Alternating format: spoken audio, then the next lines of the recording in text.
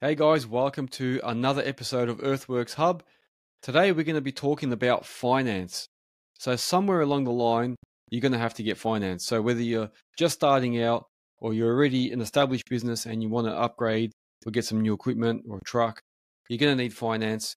So, I thought, you know what, let's get someone in, a specialist that can tell us all about how it works, what it's like to get finance, the process, and all that sort of stuff. So, with me today, I've got Robbie Moore. He's from Network Finance. Uh, I've actually used Robbie in the past as well for finance, so I can definitely vouch for him. Um, let's see what he has to say. Thanks for coming on the program, Robbie. So, Robbie, can you just uh, start by telling us a little bit about yourself and the company that you work for? Yeah, sweet. So, um, I uh, contract to Network Finance. We're based at Coorparoo in Brisbane. Um, company's probably been around 25 years or so, I suppose, and I've contracted there for the past 15 months. Prior to that, I was based in Toowoomba, where I worked as a broker for yeah 14 years up there before moving down here, just a bit more central. Um, and out of network finance, we sort of do equipment finance. Um, got guys in there that do home loans, business loans, that sort of stuff. I, I predominantly specialise in equipment finance.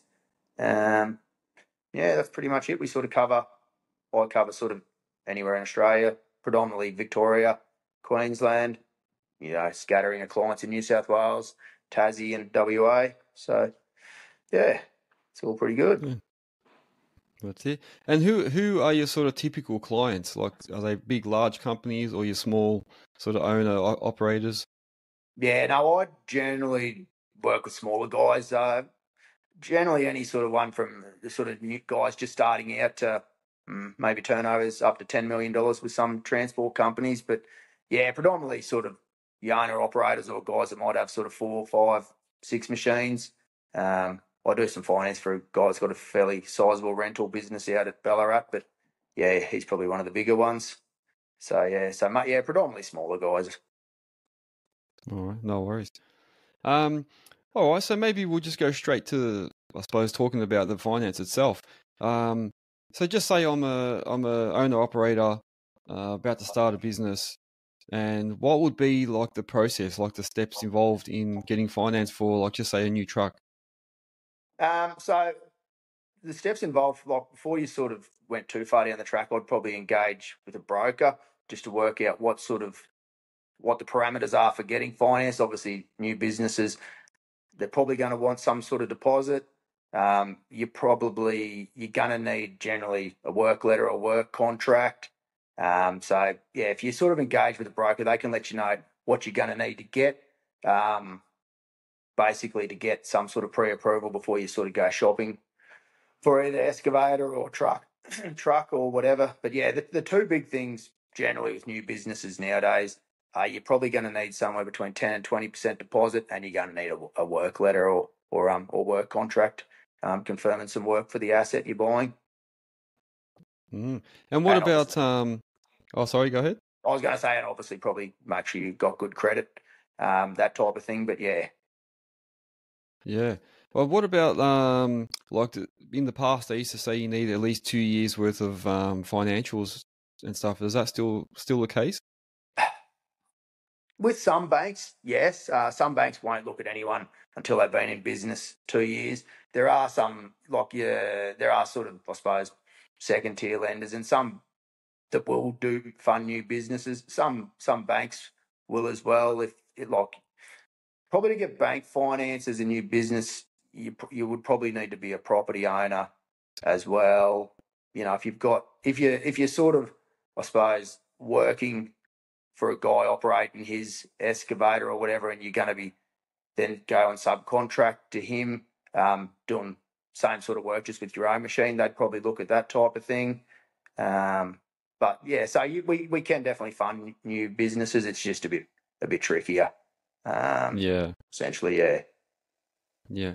And why why do people um or why should people go to like a broker rather than straight to the bank? Like, is it is it any sort of big difference?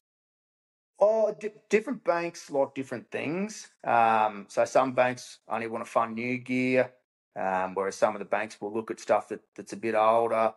And um, yeah, like like I said, some banks will won't touch you unless you've been in business two years.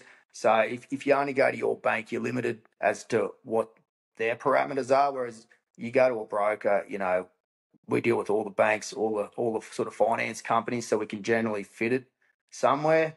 Um, we have obviously a number of different options, whereas the banks only have their their option and that's it.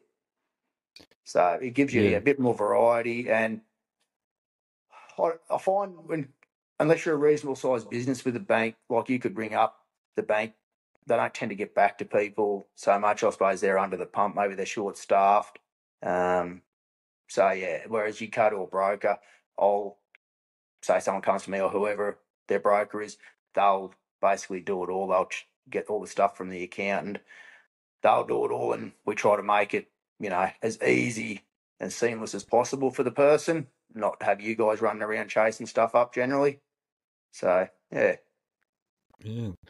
Oh, cool. What about um? So I suppose when you get new equipment, usually the dealership will sort of help you out and do all the invoices and paperwork for you and send all it send it on to the finance company. If you're buying a second hand machine, like what's what's involved with that? Do you need to get some what sort of paperwork do you need if you're buying a second hand machine? So from a customer's perspective, it doesn't really change what they need to do. As a broker or bank or whatever, there's some extra steps we would do. So uh, from a dealer, literally, we just get a, a tax invoice. We can generate some loan documents for a private sale. You generally need to get an inspection done. You know, there's proof of ownership. Some and different lenders have different requirements around that. Like some of them will just accept rego papers as proof of ownership.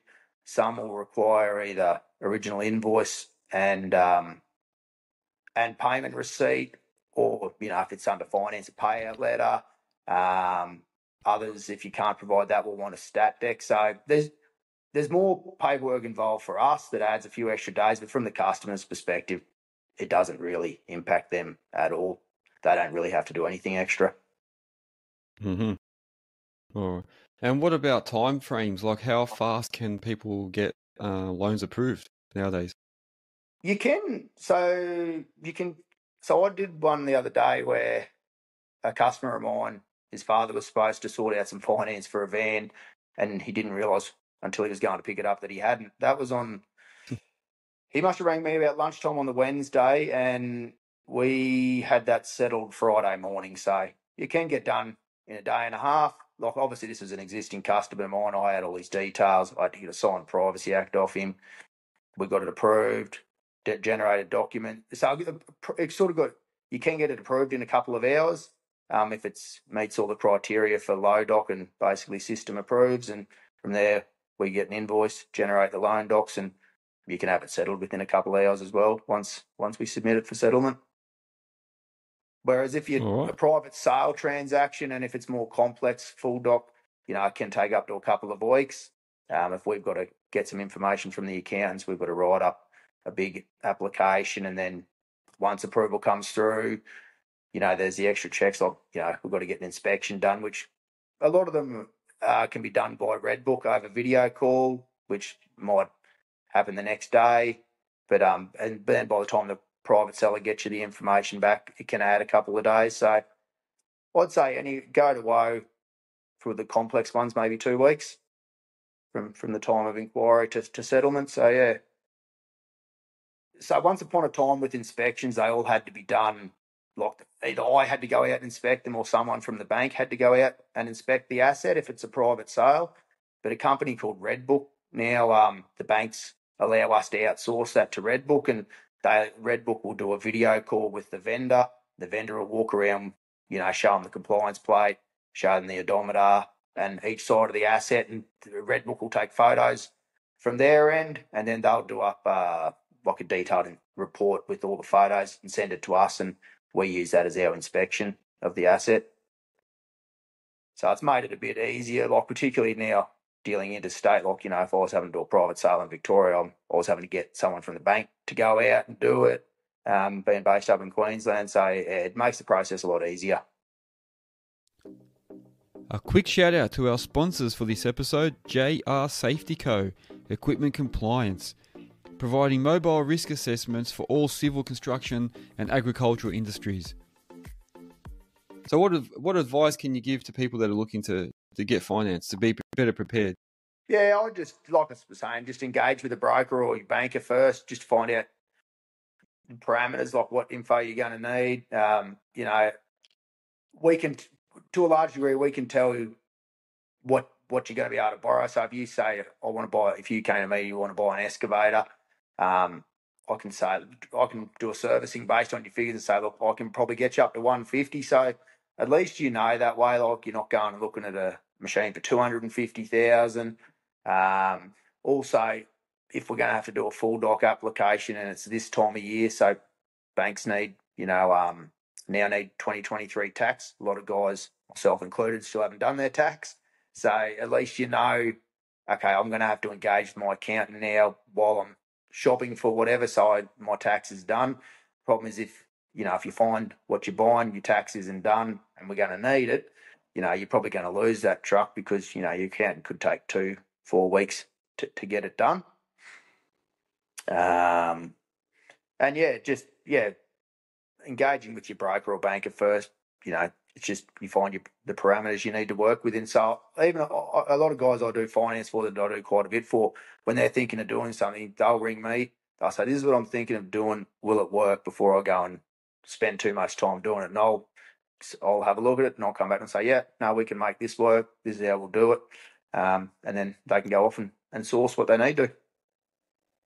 All right, cool.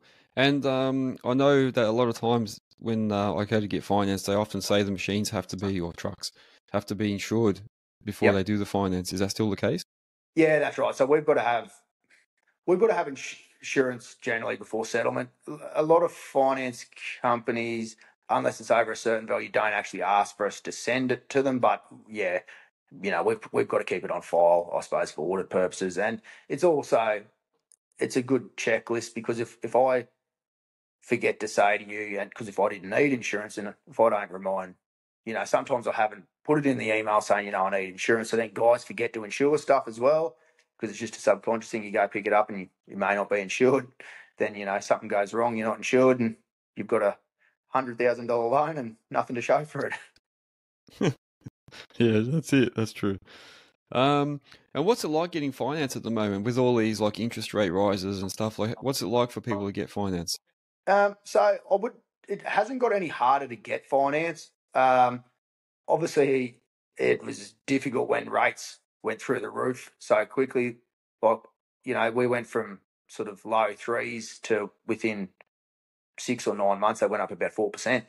Um, they have stabilised now for probably the last nine months, so people are now getting used to you know rates are now somewhere generally new equipment somewhere in the sevens, depending on the week. They can fluctuate a little bit, but um, you know, guys are, are getting more used to it. But uh, credit assessment wise, it, it hasn't got any harder.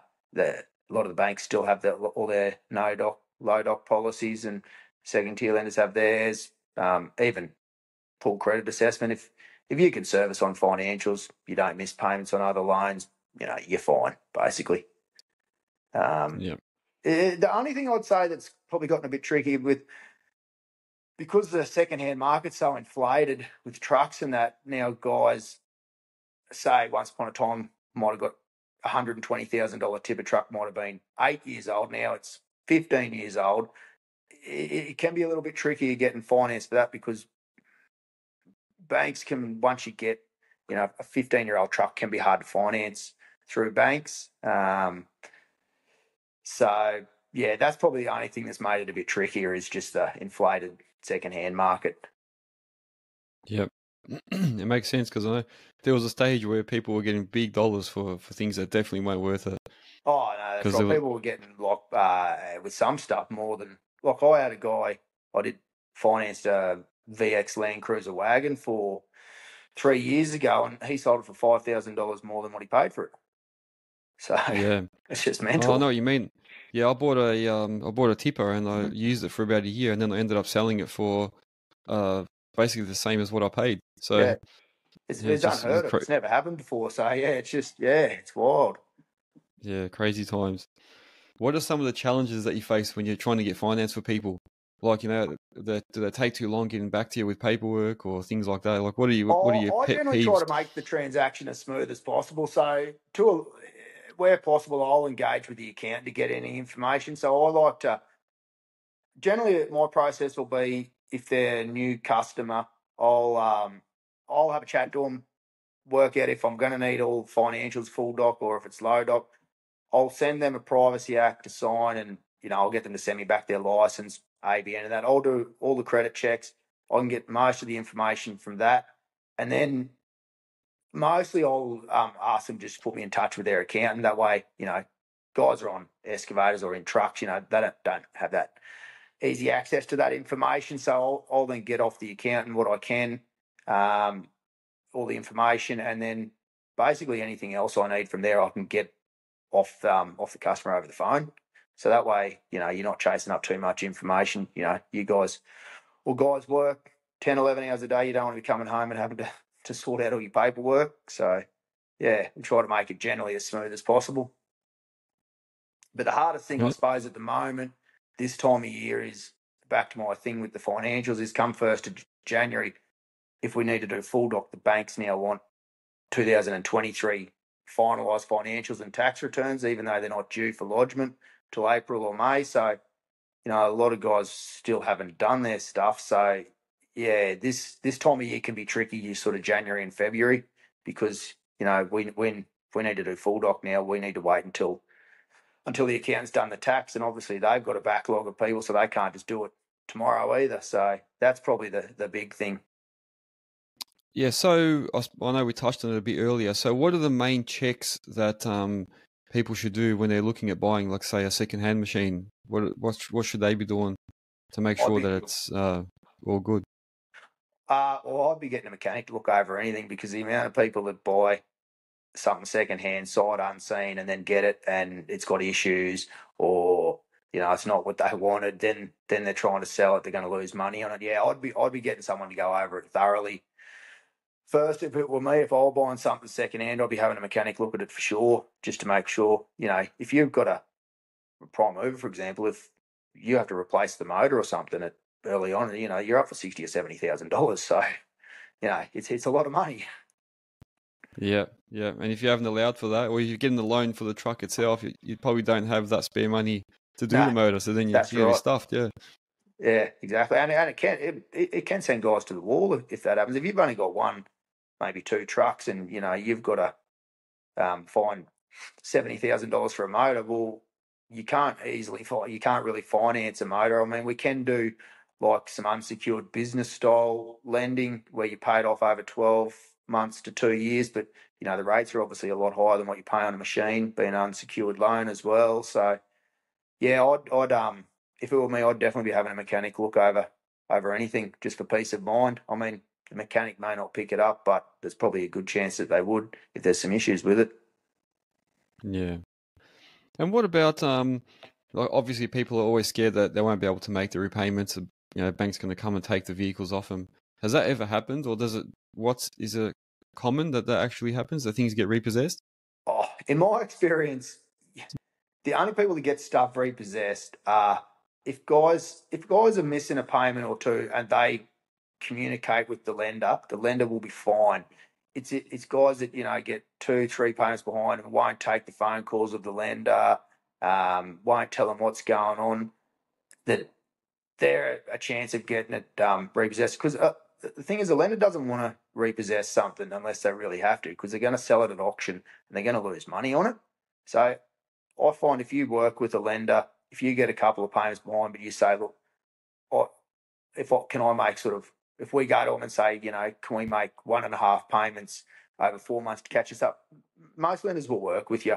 Um, you know, the guys, yeah, that, that don't want to work with a lender, um, but will get stuff repossessed. But it's probably you'd probably have to be five or six months behind before a lender will repossess.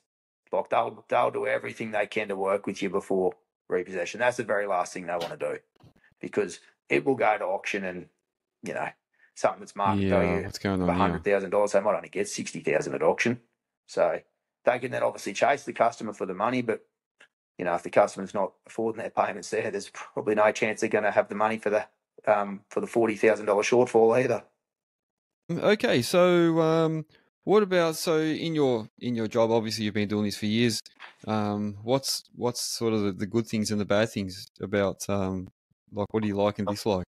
Oh, I enjoy dealing with um people from you know all over all over the country. Um, I particularly like earth moving and transport guys. They're generally fairly laid back. I'm a fairly laid back sort of guy. Like to have a bit of a joke with guys on the phone and that sort of thing. I'm pretty pretty um yeah easy to get along with you know, I've got um, I've been to a guy's wedding in Melbourne the other year that you know met him through doing his finance. I go down to Apollo Bay, um, see a guy generally once a year. We go down there and get on the uh, for the weekend and generally have a good time, even though the weather's not quite as good as up here in Queensland. but um, yeah, that um, so I enjoy I enjoy all that sort of side. Um, probably the worst part about it is um, if for some reason you can't get a guy finance making the phone call to let them know. It's generally never easy to make that call, but you know, you it's just a call you've got to make. Don't sort of hide behind it. You know, if you just give give the person the reasons, you know, that generally most guys will understand, and you know, we try our best to get finance for everyone, but you know, you're never going to have a hundred percent success rate. So, yeah, that yeah. it can be long hours, I suppose, and generally when when you're on holidays, you know, I'll still generally have to do an hour's half an hour, an hour's work a day. You know, even even normally you can get away over Christmas for a couple of weeks and you don't have to. But yeah, this year for some reason, come a lot of guys seem to go back on the third up here, and yeah, and I was getting phone calls from the third, even though we're away on holiday. So you know, you, you've just got to take a couple of those calls, and you know, most guys understand if you can't get right back to them. But yeah, but um, but overall, I'd, you know, I wouldn't do it if I didn't enjoy it more than I disliked it, I suppose. So yeah. No, that, that's true. Um, is there anything that you would like to add that I haven't sort of asked or covered? No, not really. Not not that I can live with that. I mean, like I think the only thing I've sort of harped on a little bit about is you know I'd definitely engage with if you're going to have to get a loan for whatever you're buying, whether it be your banker, whether or your broker, I'd engage with them before spending too much time going and looking. At least, you know, that way you know what you're going to need, what you need to look for. Um, you know, it's no good looking for a 1996 tipper truck if we can't get finance for it. So, yeah, that's probably the big thing I would, I'd just engage with finance first. You know, we can get a pre, or anyone can get a pre approval and it lasts for anywhere from three to six months. And if you don't use it, you don't use it. So, yeah. Okay. Um, what about if people keep skipping around from, from broker to broker? Like I've heard, I had a guy once buying something from me, and he um he had like three or four different brokers on the go. How does that actually affect their credit rating or the or the way the their you know the outcome? Well, yeah, that can definitely affect their credit rating. Um, because the problem is if you start to get a lot, a number of inquiries on your credit file, your credit score goes down, and once you've the lenders can then see if it, there's an inquiry from a another lender a day or two before. So obviously, if they're getting an inquiry, uh, if you're going to them, they're thinking that application's been declined. So you know you get three and four down the track, and the fourth lender's looking at going, "Well, hang on, why are we going to do this when obviously they've been declined three times before?" Um, and if a guy comes to me and says they have also they're also speaking to another broker, I'll I'll say to them, "Look, if you're if you're uh, down the track with that guy, st- stick with him. If he gets, if he can't do it, come back to me then. But I'm not going to put something up and you know, a waste a bit of my time and b get inquiries on this guy's file for for no reason. Um, if he's a, further down the track with the other broker. Unless, of course, yeah. the other broker's saying, you know, he might be quoting him, say, for argument's sake. I had one the other day where the other the guy was dealing with a broker earlier, but was quoting him eleven percent. So we and we, you know, we could get it somewhere in the low sevens. Um, so that's why he came to me second.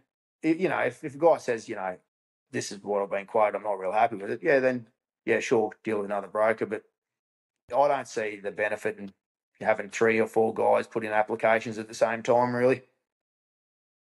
Yeah. All right. And then, um, so yeah, so so, where can listeners uh, find you? So, if they want to make contact and, and try and get some finance, what's the best way to get in touch with you? Um, generally, I suppose email or um, or phone. You know, or we've got a website, Network Finance, or um, you know, they can email me at robbie at networkfinance.com.au or you know that, that's that's generally the easiest way: email, phone, and um, yeah. And I'm I always say to guys, I'm happy to give anyone a quote, have a chat. You got any questions about finance? Doesn't matter if it doesn't go anywhere. It takes me two or three minutes. You know, if um if someone wants to bounce an idea off me or just wants a quick quote to compare to someone, it's no stress. It doesn't take us very long to do. So yeah, and feel anyone can feel free to get in touch. Cool. All right. Well, thanks for, for coming onto the show and, and sharing your knowledge about finance. Um, if anyone wants to get finance for a vehicle or uh, a machine or something like that, sure, surely give Robbie a call. I'll put all his uh, information in the link in the bio description below. Um, yeah, thanks again, Robbie. Nah, thanks for having me, Ivan. Thanks a lot, mate, and hopefully I've imparted some limited knowledge I have on uh, and help some listeners. no, you did well, man. Thank you. Uh, all right, guys. Um, thanks again for listening. Make sure that you uh, like, follow, share the share out of all this. Uh, go to my YouTube channel, Earthworks Hub. Um, subscribe, uh, share share that to your friends as well. Follow us on all socials, and uh, we'll see you in the next one.